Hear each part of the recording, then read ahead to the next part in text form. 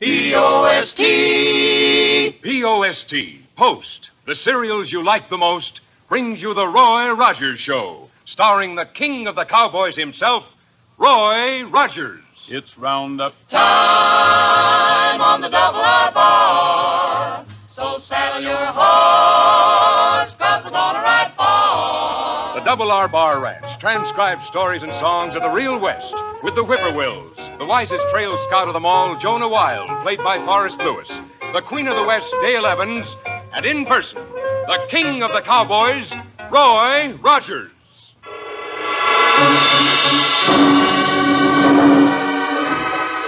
Well, howdy, folks. This is Roy Rogers.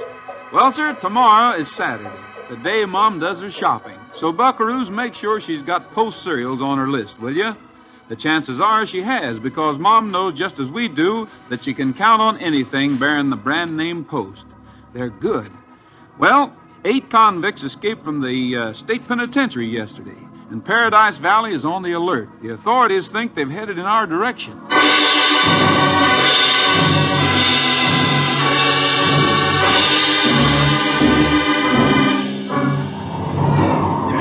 Cold in these mountains. Yeah. I can't see more than a third of what's inside this cabin. He's got the shutters closed too tight. He must be alone. His lips ain't moved since we've been standing here. If anybody was there with him, he'd have spoken to him by now. We don't want to make a misstep after getting this far. We won't be making any misstep. I'm going round crash the front door, and I'll expect you to be with me.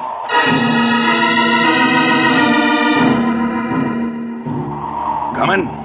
Right behind you. Go ahead. Crash that door. what is it? Who are you? I'll take him. No! That was easy. Yeah, close the door. Keep out the cold. We'll find what we need and get out of here before he comes to.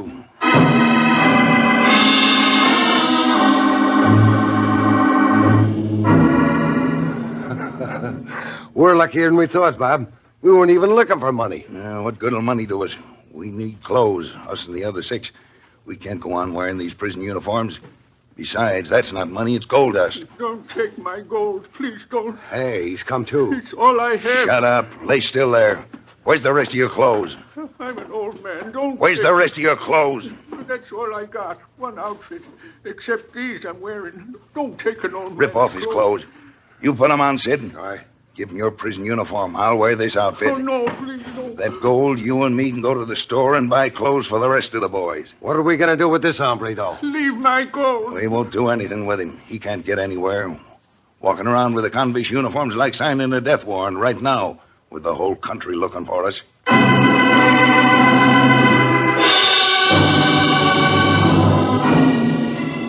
At noon the next day, Roy Rogers and Jonah Wild finished their lunch in the Eureka Cafe. They walk over to the cash register to pay their check. Roy hands Dale a $10 bill.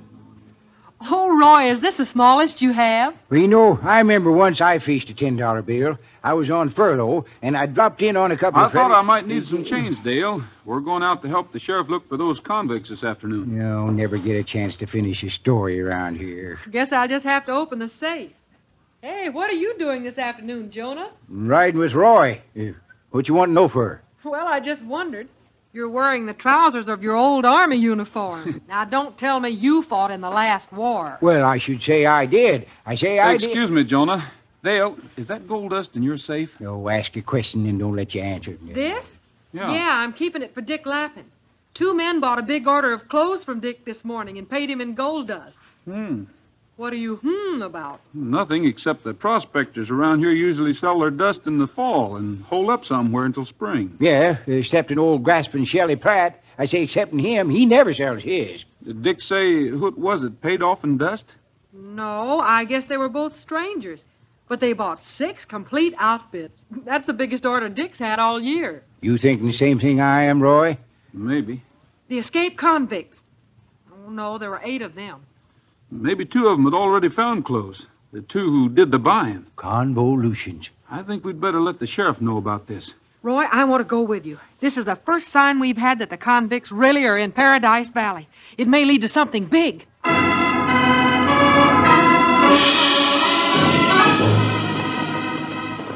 One hour later, Roy, Dale, and Jonah are in the mountain area north of Paradise Valley, hunting for the sheriff's posse they know is somewhere in the vicinity.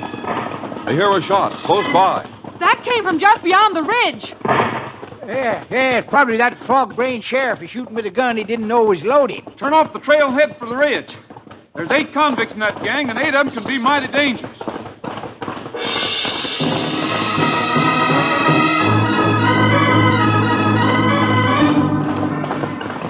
Whoa, whoa, oh, whoa. easy, Titus, Buttermilk. whoa.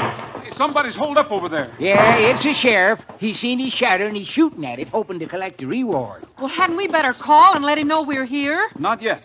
Let's make sure it's a sheriff, and not the convicts before we give our positions away. Oh, hit the dirt. He's got our range. They're shooting at us. They think. Hey, watch them shots, lawman. I got my uniform breeches on. Quiet, Jonah. Wow! Yeah, oh, he's a doing this out of plain cussedness. He hates old soldiers. That's not the sheriff, it's the convicts. Hey, you fellas out there! We've got a posse and we're telling you to throw down your guns and come on out. It's the convicts and they're taking off. Come on! The horsemen, the men who fired the shots, ride away fast. Roy, Dale, and Jonah go after them. Suddenly, after riding not more than 200 yards, Roy pulls up quickly. There's one of them. Pull up. Whoa, whoa, here. Come on out, fella. We know where you are. Oh, Buttermilk. Hey, he's still wearing his prison suit. Are you coming out or do we use our guns? Who's that talking? Me, Roy Rogers. You got the convicts, Roy, or they got you? Hey, that voice. That's somebody who lives around here. Uh, just a second. I, I know this may be a trick the convicts are using to get me, but I trust you, Roy. Shell. What are you doing in a convict's uniform? Double convolutions. I guess you ain't heard. Some convicts robbed me, took my clothes and all my gold dust. When was all this? Uh, last night. I've been following them ever since. Only two of them first. Then about an hour ago, I, I trailed them away. There were six more. I've been trying to shoot it out with them. Were those the convicts that rode away just now? Yes, sir. And they... Shell, I'll give you a blanket out of my bedroll. Wrap it around yourself so that prison outfit doesn't show. Otherwise, you'll be shot at on sight. I know. That's why I ain't dared go into town, even when the first two rattlers I was following did. Here, I... put this around you and ride for your cabin. Stay there until you hear from us. We're going after 'em while the trail's still hot.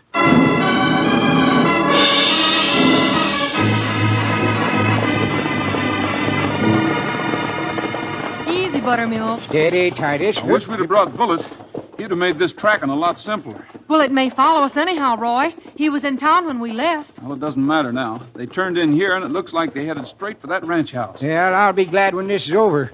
My uniform breeches worry me. Say, you know, this ranch has really run down since Eddie Robertson moved out. I hate to have happen to me what happened to Tiptoe Tom with these pants on. We'd better be careful if we go up to the house, Roy. Yeah. Tiptoe Tom's real name was Private Thomas W. Hill. He was in the Army, you see. Say, he was in the Army. Blowed the silver cornet in the regimental band. Hey, look. There's just one horse at the hitching rail up there, and it belongs to the sheriff.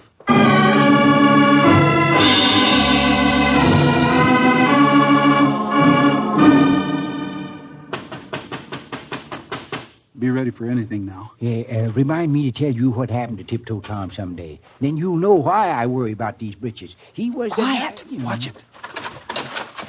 Howdy. Oh, hello. You folks looking for somebody? Yeah, we are. Yes, a fellow named Tiptoe Tom. Yeah, you, no, no, I'm wrong. We'd like to talk with the sheriff. They. Well, the sheriff stopped here a few minutes ago. Said he was looking for those escaped convicts, I think. His horse is still out at the hitching rail. Uh, he wanted to look through the barns. He probably walked down there. You want to come in and wait? Yeah, thanks a lot. I'm Roy Rogers, and this is Dale Evans and Jonah Wild. Howdy. Howdy. Howdy. Oh, these men here are my riders. We drove a herd of cattle down to Mineral City. Got here this morning, decided to come out here and spend the night. Oh, is that so? Yeah, the boys got a month's wages in their pockets. They figured they'd spend it all if we stayed in town. Yeah, sit down. Thanks. Seven of them, Roy, but there are eight convicts. Uh, how long ago did the sheriff get here? Oh, not more than 10 or 15 minutes ago, was it, boys? Yeah, said he'd been on the trail and then he. Uh, just a minute. What's the matter? I thought I heard somebody pounding upstairs on the ceiling. You didn't. Uh, guess you was mistaken, Rogers. Oh, am I? What's that then? It couldn't be that the sheriff went upstairs, could it? You asked for this, Rogers. Come on, boys. Don't take any chances with them three. Mr. Rogers, get him. Get him.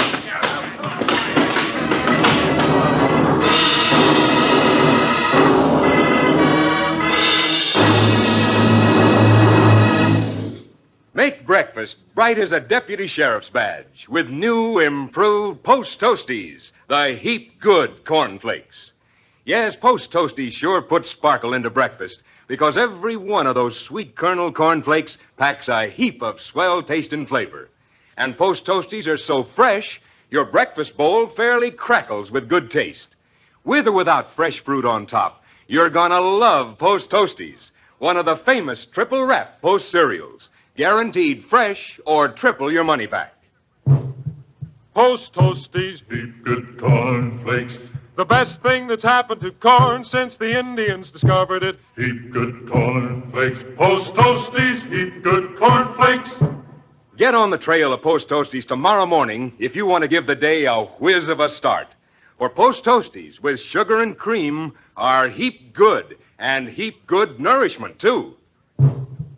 Post Toasties, heap good cornflakes.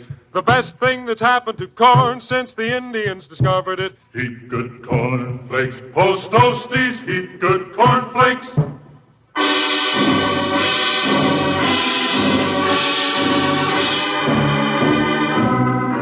Roy, Dale, and Jonah have picked up the trail of the eight escaped convicts, and the trail has led them straight to the old Robertson ranch. They saw the sheriff's horse outside the house tied to the hitching rail. They went into the house and were greeted not by the sheriff, but by seven owl hoots. Roy asked about the sheriff, and they heard someone knocking on the ceiling above their heads. Roy guessed at once that these men have taken the sheriff prisoner and are holding him upstairs. He says as much. The men surge forward. They must get rid of Roy and his friend. Rogers, don't take a chance on Rogers. The convicts, seven of eight escaped convicts, fight with every means at their command. The girl's out of the way. Dale is knocked down.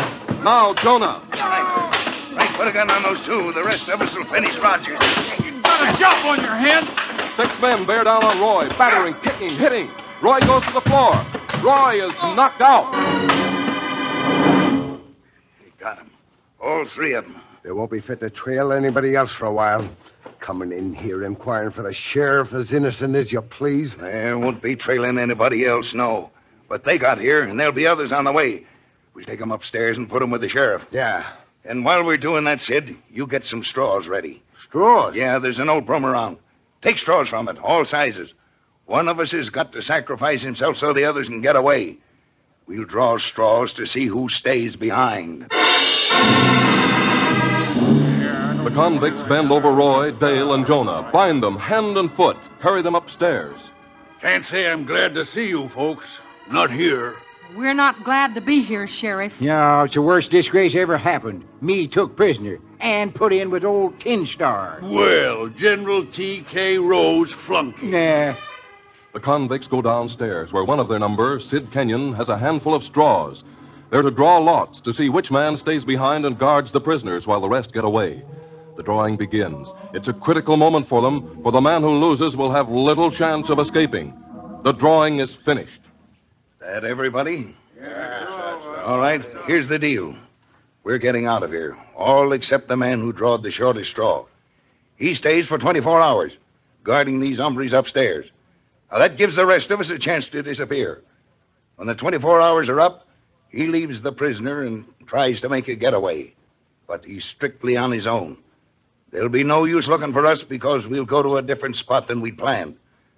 You understand why that has to be, I guess. If anything should go wrong upstairs, it's better that our man don't know anything to tell the law.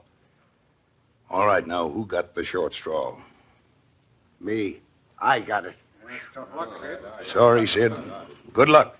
We'll be leaving right away.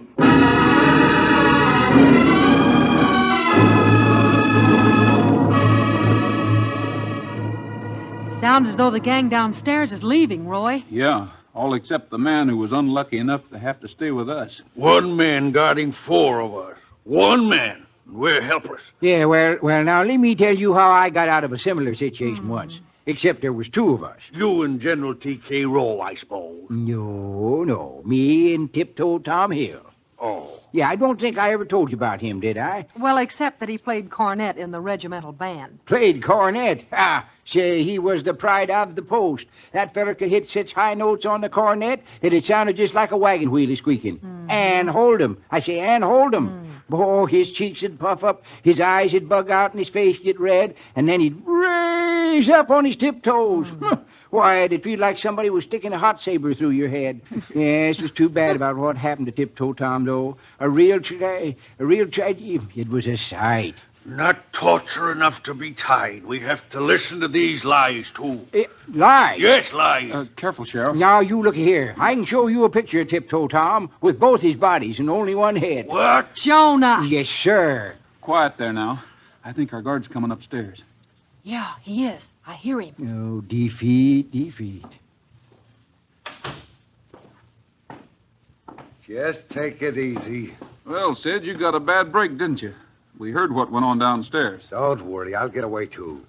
Sit down, you. Yeah, I'm a standing. That floor's dusty, and these breeches. Take my advice and relax. You're here till tomorrow. Don't be too sure of that, Sid. Why not? You're tied. I've got my gun. Yeah, you're a brave man, all right, but let me tell you something. Go ahead. We have to pass the time some way. Uh, I got a couple of stories I could tell myself, but I never get a chance to finish nothing. This may sound like big talk coming from somebody who's tied up, but you haven't a chance, Sid. Your pals ran out on you. Yeah, they made you the goat. The law's bound to grab you. Look, the boys and I made a deal. One of us had to do this job, and it was my bad luck to get it. But nothing in the world would make me turn back on my pals. It's too bad you're on the wrong side of the law. Not many men are that loyal. Yeah, now, there's a fact. Take Tiptoe Tom. He was. Hey, listen. Somebody must be riding up. Sid, we told you that you couldn't hope to Shut get up. I'll get down. And if it's somebody come for you, I'll shoot them and you. A killing won't make any difference now at the spot I'm in. That's Bullet, isn't it? Yeah, he must have picked up our trail. Say, Jonah, you happen to have a knife with you? Yeah, yeah. I got my old Barlow that I stole from. Gen- or er, I mean, that General Rowe gave me. Here, turn around and I'll see if I can get it out of your pocket. Yeah, all right now. Yeah, you- you're getting it right. There. Take him, Bullet! Take that man! He's shooting at Bullet!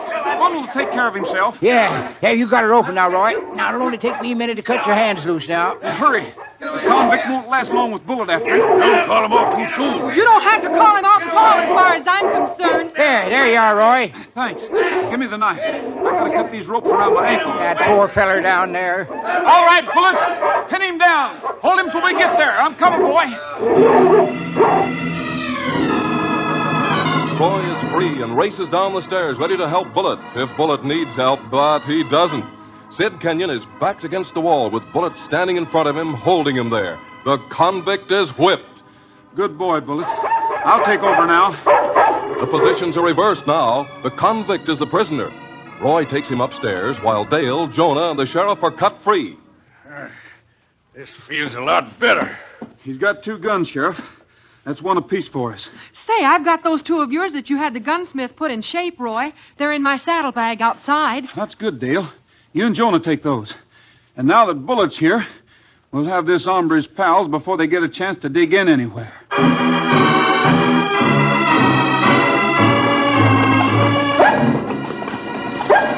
Quiet, Bullet. Quiet. Say, Bullet didn't pick the wrong trail, did he? I don't think so. I figure the gang came back to Shell Platt's cabin, thinking it's the last place in the world we'd look for him. Sure enough. Well, if the moon stays behind the clouds, we ought to be able to get clear up to the cabin before we're seen. Keep your guns ready. Roy and Bullet lead the group. Then comes Dale, the sheriff, and Jonah. They move ahead quietly toward the cabin. They come up to the door, and then All right, you better give up, because this time we're going to take it.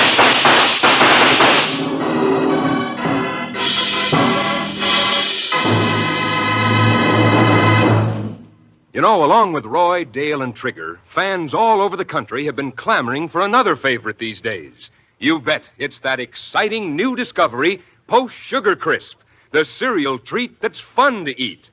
There isn't any time of day that Post Sugar Crisp doesn't fill the bill. At the breakfast table, as an extra delicious cereal, between meals for a tasty snack, or right along with you wherever you go like candy, right out of the package. Yes, sir, this Sugar Crisp jingle really sums it up. As a cereal, it's dandy. For snacks, it's so handy. Or eat it like candy. Post Sugar Crisp is delicious all day long. And it's such wholesome eating, too. Wholesome wheat puffed to a fluffy lightness, and then coated with sugar and honey for flavor, plus quick energy. Try Post Sugar Crisp yourself. But remember, one package is never enough. Better start with two. Get the package with the three little bears on the front. Post Sugar Crisp. Sugar Crisp, one of the famous triple wrap Post cereals. Guaranteed fresh or triple your money back.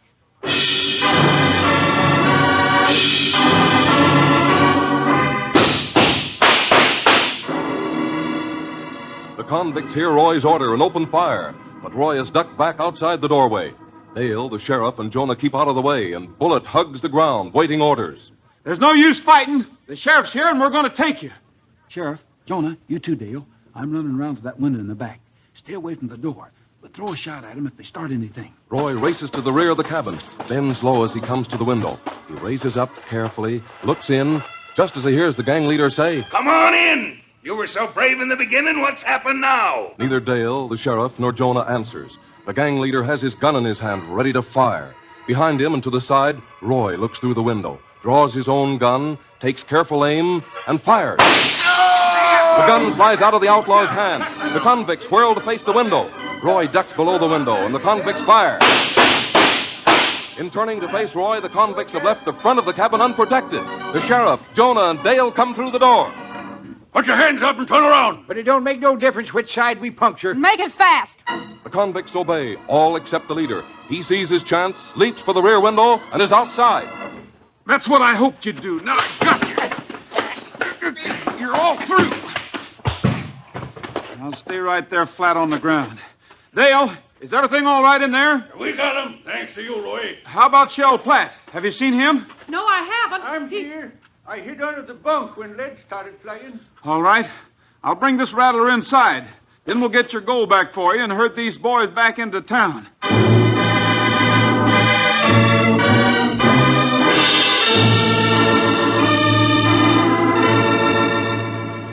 Uh, howdy, Sheriff. How about having supper with us? Oh, thanks, Roy. Well, Yeah, now that things are quiet for a change. Well, there's one more prisoner that I'd like to take before the day is over. Who's that, Sheriff? I'm looking right at him. Well, yeah. Now, hold on. A man with two bodies and one head, you say. Oh, you mustn't take Jonah too seriously. Tiptoe Tom. That's what he had. The whole thing is nobody ever gives me a chance to explain nothing. You've got a chance now. All right. Well, sir, one day when we had a regimental parade, Tiptoe got dressed in his buffalo hide uniform, eh, same as these pants I'm wearing. And then Peacey had to play on his cornet when the troops marched in review, had one of them long, high notes in it. Oh, it was a dandy. I say it was a dandy. must have must have been a high X sharp and was supposed to last two, three minutes. Well, sir, Tom come to the note. His face got red, his eyes bugged out, and he stood up on his tiptoes. Mm-hmm. And he got the note out just as it started to rain. And Tom held that note. Oh, boy, how he held that note.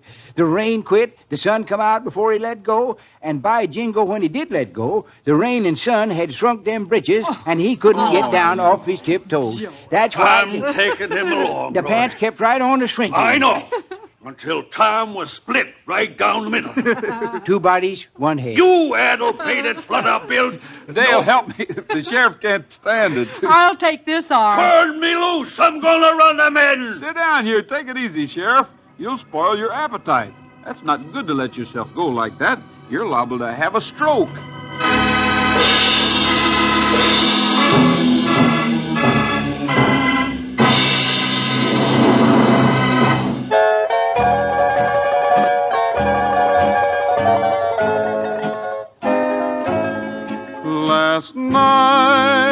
As I lay on the prairie and gazed at the stars in the sky,